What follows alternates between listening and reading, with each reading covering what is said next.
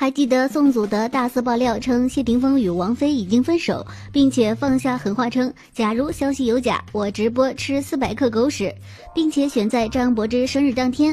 但是谢霆锋本人回应也很霸气，期待他吃给我们看，打脸宋祖德。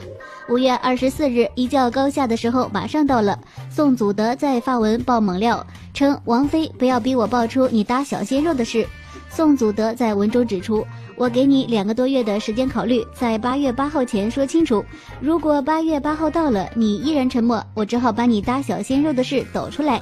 这个小鲜肉比谢霆锋还小很多很多，希望你三思。宋祖德信心满满。我跟谢霆锋的赌注明天就要揭晓了。我是一个把诚信看得比生命更重要的人。如果我错了，直播吃四百克米田共，我百分百做到。难不成宋祖德真有二人分手证据，或者说王菲真的在搭小鲜肉？不过目前王菲方并没有做出任何回应。